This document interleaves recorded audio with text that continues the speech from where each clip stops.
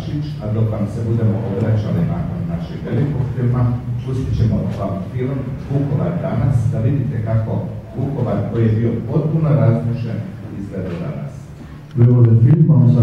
retomar la palabra, que en este film van a poder ver cómo eh, las